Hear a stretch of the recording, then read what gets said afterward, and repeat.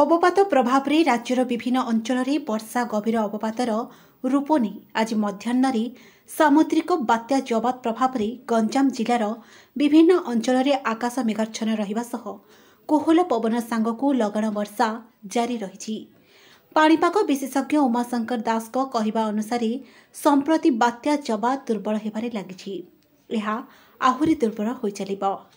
ଏବେ ଏହାର ଗଭୀର ଅବପାତ ପାଲଟି ଉତ୍ତର ପଶ୍ଚିମ ଦିଗରେ ଘଣ୍ଟା ପ୍ରତି ଏଗାର କିଲୋମିଟର ବେଗରେ ଗତି କରୁଛି ବିଶାଖାପାଟଣାର ପୂର୍ବ ଦକ୍ଷିଣ ପୂର୍ବକୁ ଶହେ ଅଶୀ କିଲୋମିଟର ଗୋପାଳପୁରର ଦକ୍ଷିଣକୁ ଦୁଇଶହ କିଲୋମିଟର ପୁରୀର ପୂର୍ବ ଦକ୍ଷିଣ ପୂର୍ବକୁ ଦୁଇଶହ ସତୁରି କିଲୋମିଟର ଏବଂ ପାରାଦୀପର ଦକ୍ଷିଣ ପଶ୍ଚିମ ଦିଗରେ ଦୁଇଶହ ସତୁରି କିଲୋମିଟର ଦୂରରେ ରହିଛି ତେଣୁ ଜିଲ୍ଲାର କେତେକ ଅଞ୍ଚଳରେ ତୁହାକୁ ତୁହା ବୃଷ୍ଟିପାତ ହେବାର ଦେଖାଦେଇଛି। ବର୍ଷା ଯୋଗୁଁ ତଳିଆ ଅଞ୍ଚଳରେ ପାଣି ଜମିବା ସହ ବିଭିନ୍ନ ଅଞ୍ଚଳରେ ଜଳବନ୍ଦୀ ପରିସ୍ଥିତି ସୃଷ୍ଟି ହୋଇଛି। ଲଗାଣ ବର୍ଷା ଯୋଗୁଁ ଜନଜୀବନ ପ୍ରଭାବିତ ହୋଇଛି। ଚାଷ ଜମିଗୁଡ଼ିକରେ ବର୍ଷା ଜଳ ପଶି ଫସଲ ନଷ୍ଟ ହୋଇଛି। ଫଳରେ ହେକ୍ଟର ହେକ୍ଟର ଜମିରେ ଧାନ ଫସଲ ନଷ୍ଟ ହେବା ଆଶଙ୍କା କରାଯାଉଛି। ତେଣୁ ପ୍ରଶାସନ ଏଥିପ୍ରତି ଦୃଷ୍ଟି ଦେବା ନିମନ୍ତେ ଜନସାଧାରଣ ଦାବି କରିଛନ୍ତି। ବାତ୍ୟା ଜବାଦ ଗଞ୍ଜାମ ଜିଲ୍ଲାରେ ଆଶାନୁରୂପ ପ୍ରଭାବ ପକାଇ ନଥିଲେ ମଧ୍ୟ ଗତ ଦୁଇ ଦିନ ଧରି ଝିପିଝିପି ବର୍ଷା ଲାଗି ରହିଛି ଯାହାଫଳରେ ଭଞ୍ଜନଗର ଓ ଏହାର ଆଖପାଖ ଅଞ୍ଚଳରେ ଜନଜୀବନ ଅସ୍ତବ୍ୟସ୍ତ ହୋଇପଡ଼ିବା ବେଳେ ଚାଷ କାର୍ଯ୍ୟ ମଧ୍ୟ ସମ୍ପୂର୍ଣ୍ଣ ବାଧାପ୍ରାପ୍ତ ହୋଇଛି। ପୂର୍ବ ଲଘୁଚାପ ଜନିତ ବର୍ଷାରେ ଧାନ ଗଛଗୁଡ଼ିକ ଶୋଇଯାଇଥିଲା ହେଲେ ଚାଷୀମାନେ ପୁଣି ଥରେ ଅକ୍ଲାନ୍ତ ପରିଶ୍ରମ କରି ପେସବୁର ପୁନରୁଦ୍ଧାର କରିଥିଲେ। ହେଲେ ବାତ୍ୟା ଜବତକୁ ନେଇ ସମସ୍ତେ ଆତଙ୍କିତ ଅବସ୍ଥାରେ ଥିବାବେଳେ ବାତ୍ୟା ସିନା ଟଳିଗଲା ହେଲେ ଲଗାଣ ବର୍ଷାରେ ଧାନ ଫସଲ ପାଣିରେ ବୁଡ଼ି ରହି ନଷ୍ଟ ହୋଇଛି। ମୁଜାଗଡ଼ ଗୁଣ୍ଡୁରିବାଡ଼ି ସାନ କୋଦଣ୍ଡା ସମେତ ଅନ୍ୟାନ୍ୟ ପଞ୍ଚାୟତର ବିଭିନ୍ନ ଗ୍ରାମରେ ଚାଷ ଜମି ଜଳମଗ୍ନ ହୋଇଛି। ତେଣୁ ଚାଷୀମାନଙ୍କ ବହୁଦିନର ପରିଶ୍ରମ ବୃଥା ହୋଇଛି। ବ୍ୟାପକ ଫସଲ ନଷ୍ଟ ହୋଇଥିବାରୁ କ୍ଷତିପୂରଣ ପାଇଁ ସାଧାରଣରେ ଦାବି ହେଉଛି। ପୁଣି ଲଗାଣ ବର୍ଷାରେ ଆଉ ଏକ ବଡ଼ ଘଟଣା ଦେଖିବାକୁ ମିଳିଛି ହିଞ୍ଜିଳି ଅଞ୍ଚଳରେ। ନିର୍ମାଣର ନଅ ମାସ ନ ପୂର୍ବରୁ ଭୁଷୁଡ଼ିଲା ହିଞ୍ଜିଳି ଦେଉଳବନ୍ଧ ଗାଡ଼ୱାଲ। ପ୍ରକାଶ ଥାଉକି ଏକ ବିକାଶଶୀଳ ପ୍ରୟୋଗଶାଳା ହିଞ୍ଜିଳିରେ ବିଭିନ୍ନ ପ୍ରକାର ଚିତ୍ର ଦେଖିବା ପାଇଁ ରାଜ୍ୟର ଶହେ ଦଶ ବିଧାୟକ ଏହି ଅଞ୍ଚଳକୁ ଆସି ବୁଲି ଦେଖିଥିଲେ। ଗତ କିଛିଦିନ ତଳେ ନିମ୍ନମାନର କାର୍ଯ୍ୟ ପାଇଁ ହିଞ୍ଜିଳି ବ୍ଲକ ପୁଟିଆପଦର ଗ୍ରାମରେ ବନ୍ଧର ଗାର୍ଡ ୱାଲ୍ ଧସିବା ସହ ଚର୍ଚ୍ଚାକୁ ଆସିଥିବା ବେଳେ ଏଭଳି ଏକ ପ୍ରବଳ ଦୁର୍ନୀତିର ଗନ୍ଧ ତଥା ନିମ୍ନମାନର କାର୍ଯ୍ୟ ହିଞ୍ଜିଳି ପୌର ପରିଷଦର ଦେଉଳବନ୍ଧରେ ହୋଇଥିବା ଖବର ହସ୍ତଗତ ହୋଇଛି। ସୂଚନା ପ୍ରକାରେ ପ୍ରାୟ ଏକ କୋଟିରୁ ଉର୍ଦ୍ଧ୍ୱ ଟଙ୍କାରେ ନିର୍ମିତ ଏହି ଦେଉଳ ବନ୍ଧ ପ୍ରାଚୀର ନିର୍ମାଣ ସୌନ୍ଦର୍ଯ୍ୟକରଣ ଆଲୋକୀକରଣ ନିକଟରେ ଏକ ପାର୍କ ବନ୍ଧ ସଜ୍ଜା ମଧ୍ୟରେ ବୁଲିବା ପାଇଁ ବୋଟିଂ ଓ ପାଦଚଲା ପାଇଁ ଫେବର ଟାଇଲ୍ରେ ରାସ୍ତା ନିର୍ମାଣ ହୋଇଥିଲା। ଗତ ଏଗାର ଫେବୃଆରୀ ଦୁଇହଜାର ଏକୋଇଶରେ ଭିସି ମାଧ୍ୟମରେ ଏକ କୋଟି ବାଷଠି ଲକ୍ଷ ସତୁରି ହଜାର ଟଙ୍କାର ନିର୍ମିତ ଏହି ଦେଉଳ ବନ୍ଧ ଉଦ୍ଘାଟନ ହୋଇଥିଲା। ତେବେ କାର୍ଯ୍ୟର ନଅ ମାସ ନ ପୂର୍ବରୁ ଡିସେମ୍ବର ପାଞ୍ଚ ତାରିଖ ଦିନ ପ୍ରାତଃ ସମୟରେ ବନ୍ଧ ମଧ୍ୟସ୍ଥ ଗାଡ଼ୱାଲ ସହ ଫେବର ଟାଇଲ୍ ପାଦଚଲା ରାସ୍ତା ମଧ୍ୟ ଭୁଷୁଡ଼ି ଯାଇଛି।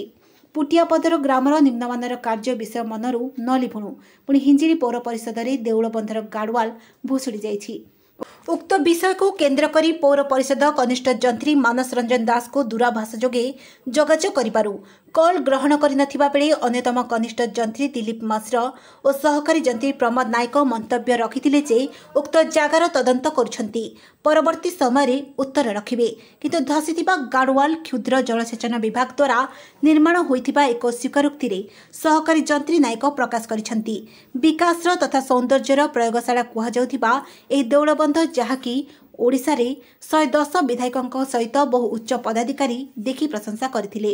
ବର୍ତ୍ତମାନ କାର୍ଯ୍ୟଶୈଳୀ ପ୍ରତି ପ୍ରଶ୍ନ ଉଠିଛି। ପୌର ପରିଷଦ ଦ୍ୱାରା ସହର ମଧ୍ୟଭାଗ ଭେଣ୍ଡିକ୍ ଜୋନ୍ ନିୟନ୍ତ୍ରିତ ବଜାର ଶୀତଳ ଭଣ୍ଡାର ଅତ୍ୟାଧୁନିକ ମାଛ ମାଂସ ବଜାର ଆଦି କାର୍ଯ୍ୟର ଗୁଣବତ୍ତା ଉପରେ ଅଞ୍ଚଳବାସୀଙ୍କ ସନ୍ଦେହ ସୃଷ୍ଟି କରିଛି। ମାଧବ ଗୌଡ଼ ଭାରତୀୟ ଜନତା ପାର୍ଟି ସାଙ୍ଗଠନିକ ଘୁମସର ଗଞ୍ଜାମ ଜିଲ୍ଲାର ଉପସଭାପତି। ନିଶ୍ଚିତ ଭାବେ ଆପଣମାନେ ଦେଖୁଛନ୍ତି ମିଡ଼ିଆ ଭାଇମାନେ କେଉଁ ପ୍ରକାର ଏଇଠି ଅଫିସର ଆଉ ଠିକାଦାରଙ୍କର ମଧୁଚନ୍ଦ୍ରିକାରେ କାମ ହେଉଛି। ଆଜି ଗୋଟେ ଅଫିସର ଆସିଲେ ତିନି ବର୍ଷରୁ ଅଧିକ ରହିପାରୁନାହାନ୍ତି ଗୋଟେ ଜେଇ ଯେ ନା ଆମର ଏଇଠି ଅଛନ୍ତି ମାନସ ରଞ୍ଜନ ଦାସ ଏବଂ ଆଉ ଜଣେ ତାଙ୍କର ସହଯୋଗୀ ଏମାନେ ଦଶ ବର୍ଷ ଲେଖେ ହେଲାଣି ଏଇଠୁ ଯାଉନାହାନ୍ତି। ତ କେଉଁ କବଚ ତାଙ୍କ ଉପରେ କାହାର ଆଶୀର୍ବାଦ ରହିଛି ଏହା ମଧ୍ୟ ଆମେ ଜାଣିବା ଦରକାର। ଗଞ୍ଜାମ ସମାଚାର। ଆପଣଙ୍କର ଲାଟେଷ୍ଟ ଖବର ପାଇଁ ଲାଇକ୍ ସେୟାର ସବସ୍କ୍ରାଇବ୍ ଏବଂ ଫଲୋ କରନ୍ତୁ। ଗଞ୍ଜାମ ସମାଚାରର ଫେସବୁକ୍ ୟୁଟ୍ୟୁବ୍ ଟ୍ୱିଟର ପେଜ୍କୁ ଅଧିକ ତଥ୍ୟ ପାଇଁ ଭିଜିଟ୍ କରନ୍ତୁ ଆମ website W W W dot Ganjam Samachar dot com Chhatrapur ବ୍ଲକରେ ଘଟିଛି ଏକ ଅଭାବନୀୟ ଘଟଣା। ଲଗାଣ ବର୍ଷାରେ ଭୁଷୁଡ଼ିଲା ଘର। ଅଳ୍ପକେ ବର୍ତ୍ତିଲେ ପରିବାର। ଲଗାଣ ବର୍ଷାରେ ଛତ୍ରପୁର ବ୍ଲକ ମାଧପୁର ପଞ୍ଚାୟତ ବରଙ୍ଗ ଗ୍ରାମର ସୀମାଞ୍ଚଳ ବେହେରାଙ୍କ ଘର ଭୁଷୁଡ଼ି ପଡ଼ିଛି। ସୂଚନା ମୁତାବକ ଆଜି ମଧ୍ୟାହ୍ନ ସମୟରେ ସମସ୍ତେ ଘର ଭିତରେ ଥିବାବେଳେ ଘରର ପଛପଟ କାନ୍ଥ ହଠାତ୍ ଭୁଷୁଡ଼ିବା ବେଳେ ଘର ଲୋକ ବାହାରକୁ ଦୌଡ଼ି ପଳାଇଥିଲେ। ପରବର୍ତ୍ତୀ ସମୟରେ ସମ୍ପୂର୍ଣ୍ଣ ଘରଟି ଭୁଷୁଡ଼ି ପଡ଼ିଥିଲା।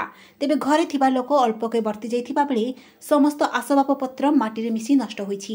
ତେବେ ସୀମାଞ୍ଚଳ ଜଣେ ଗରିବ ମତ୍ସ୍ୟଜୀବୀ ହୋଇଥିବାରୁ ତାଙ୍କୁ ସରକାରୀ ସହାୟତା ସହ ଆବାସ ଯୋଜନାରେ ସାମିଲ କରି ଗୃହ ଯୋଗାଇ ଦେବାକୁ ଏକୋଇଶ ନମ୍ବର ଜିଲ୍ଲା ପରିଷଦ ସଭ୍ୟ ଏସ୍ କିଶୋର ଚନ୍ଦ୍ର ରେଡ୍ଡି ଦାବି କରିଛନ୍ତି।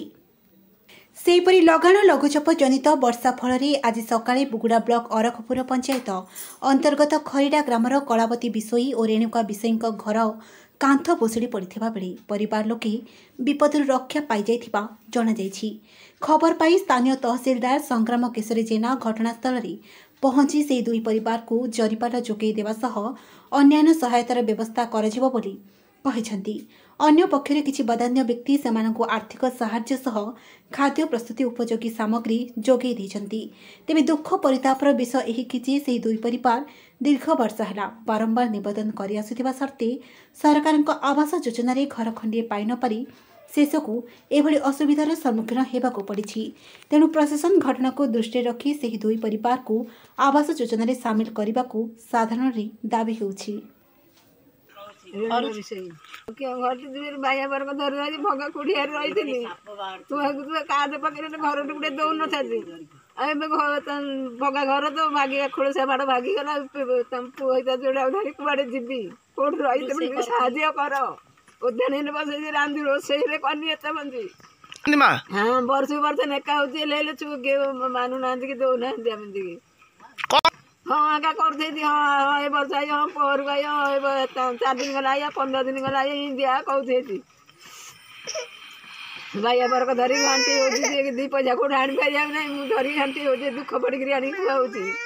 ମୁଁ ଗଲା ପରେ ଆଜ୍ଞା ମୁଁ ବହୁତ ଚେଷ୍ଟା କଲାଣି କେତେ କାଗଜପତ୍ର ଦେଲାଣି କିଏ ମୋ କଥାକୁ ଶୁଣୁନାହାନ୍ତି ହଁ ଭୋଟ ଦେଇଛ ଏଇଟା କରିଦେଉ ସେଇଟା କରିଦେଉ ତେଣୁକରି କିଛି କରିଦେଉନାହାନ୍ତି ମୁଁ ଏ ଆଜି ମୋ ସ୍ୱାମୀ ପୁତ୍ର ଥାଆତେ ମୁଁ ଆଜି ଏ ଘରେ ଏମିତି ପଡ଼ିକି ନଥାନ୍ତି ମୁଁ ଖୋଳସ ବାଡ଼ ମୁଁ ଭାଗିଗଲା ମୁଁ ଏବେ ଚଳି କେମିତି ମୁଁ ସ୍କୁଲରେ ଆଶ୍ରୟ ନେଇଛି।